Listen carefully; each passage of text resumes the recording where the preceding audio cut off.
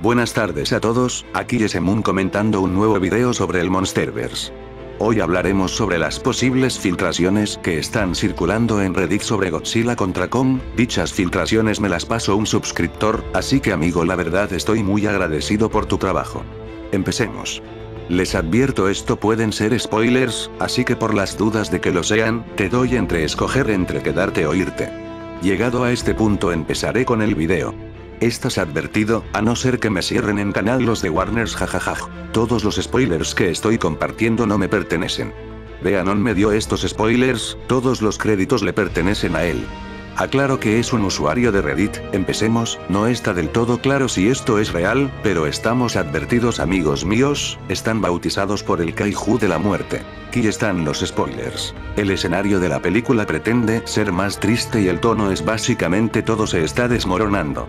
Ni Godzilla ni Kong son verdaderos villanos, ambos se interpretan como figuras trágicas de orígenes similares que se ven obligados a luchar entre sí debido a las diferencias. Monarch ha mantenido la situación de Titán bajo control con la introducción de un equipo G más eficaz y un gas disuasorio de Titán recientemente creado para ayudar a desviar a los titanes de clase baja de las ciudades altamente pobladas. Las amenazas más grandes de Titán han sido casi inexistentes debido a que Godzilla patrulla y las mantiene en línea facciones anti-titán, incluidos varios grupos gubernamentales anónimos, todo en el objetivo combinado del exterminio de toda la vida de titán en la Tierra, aunque los motivos de Jonah son controlarlos. La cabeza izquierda de Ghidorah, perdido en la batalla de México en Codm, se usa para extraer su sangre, que tiene propiedades hiperregenerativas una vez que se reactiva. Las propiedades regenerativas de la cabeza de Ghidorah se utilizan para crear una bacteria supernuclear que matará a Godzilla al comer su energía radiactiva. El plan de Jonah es recolectar muestras de diferentes titanes para hacer una arma biológica anti-Godzilla. Las hembras Muto y Muto Prime comparten propiedades parásitas de absorción de energía nuclear y la sangre de Ghidorah muestra propiedades de regeneración una vez introducidas en una fuente de energía viva, máquina o criatura viviente. El plan es criar una cepa de piojo de mar mutado que tenga propiedades muto y acelerar la tasa de crecimiento con la sangre de Ghidorah. Esto es para extraer la energía nuclear de Godzilla de él, dejándolo débil y vulnerable a un ataque planificado. El plan de Jonas, en resumen. Numeroso piojo muto plantado en Godzilla, comienza la extracción de energía.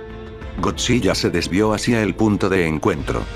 Kon y otros titanes conducen al punto de encuentro donde se les presenta el gas de la ira. Un Godzilla debilitado es asesinado por Kong enfurecido y los otros titanes. Jonah luego obtiene el control sobre Monarch por la fuerza, durante este proceso, los científicos de Monarch alteran su gas de disuasión de titán en un gas de ira, lo que hace que los titanes se confundan y enfurezcan. La trama humana, no Jonas, gira en torno a Madison Russell, su padre, Monarch y GTAN. Se han abierto sumideros de varios tamaños alrededor del planeta y Monarch los ha estado observando de cerca, creyendo que un titán puede ser la causa de ellos. GTA y varios otros grupos de investigación de Monarch son enviados en una misión para viajar a Skull Island y explorar el interior de un sumidero masivo que recientemente se abrió allí.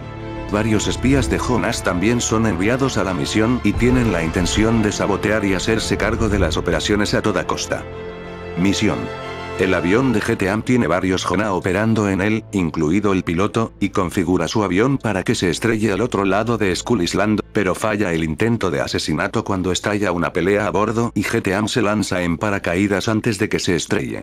Al aterrizar en una playa rocosa, otro miembro saca un arma e intenta matar al equipo, pero es noqueado por el colíder de GTAN. El equipo G está separado de los otros equipos Monarca y no les advierte sobre una toma hostil de la misión, se ven obligados a intentar atravesar partes de la isla Calavera para advertirlos en persona. Monarch viaja al sumidero y descubre que la teoría de la Tierra hueca era real y teoriza que la Tierra puede tener varias cámaras y puntos de acceso que conducen a todo el planeta.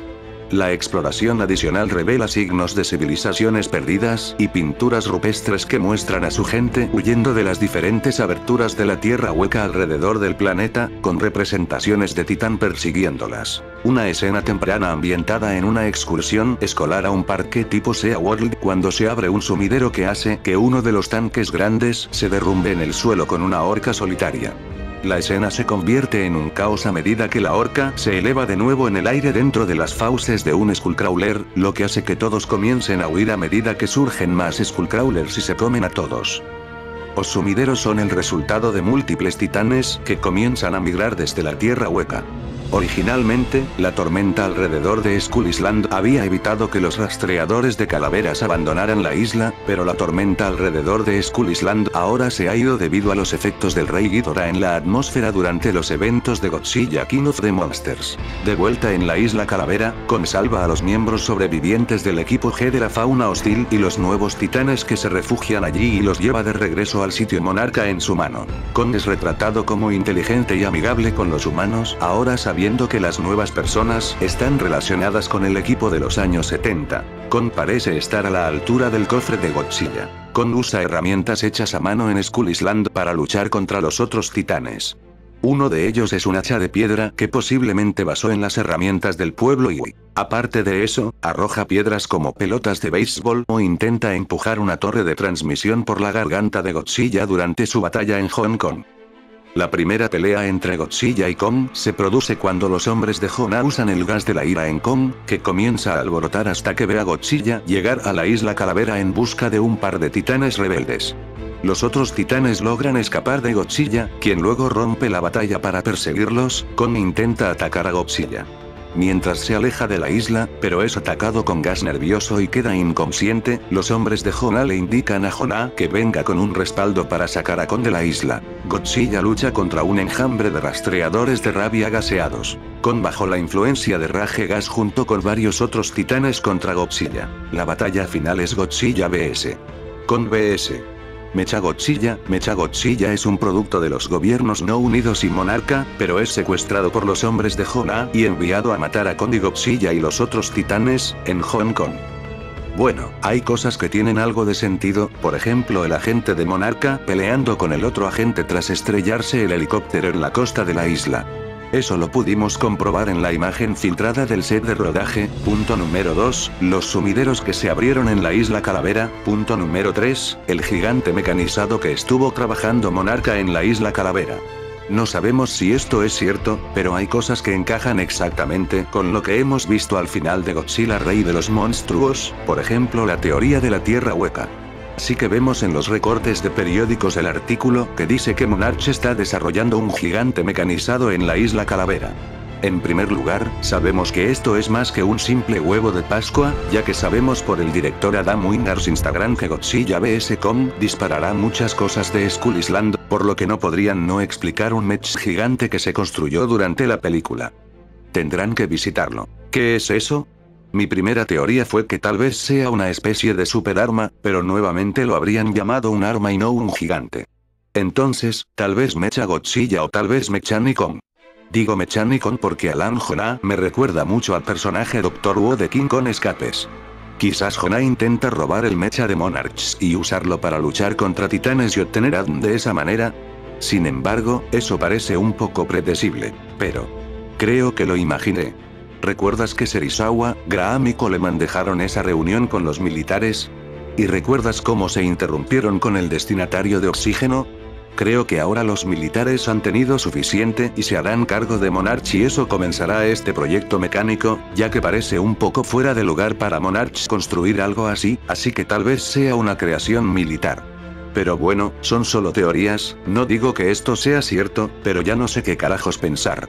Mecha King y Dora no puede ser, no tienen los derechos de dicho personaje, pero sin embargo los derechos de Mecha Godzilla los tienen, ya que los vimos en la película de Ready Player One. Bueno amigos, esta es la posible filtración de Reddit.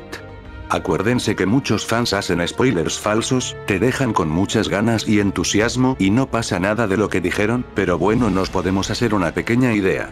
Aunque dicho usuario fue el mismo que filtró la trama de Godzilla Rey de los Monstruos. ¿Qué opinas acerca de esta posible filtración? ¿Crees que sea cierta? Déjame saber tu opinión en la caja de comentarios. Si te gustó el video dale me gusta, suscríbete y compártelo con tus amigos para más Monsterverse, soy Moon y nos vemos en el próximo video.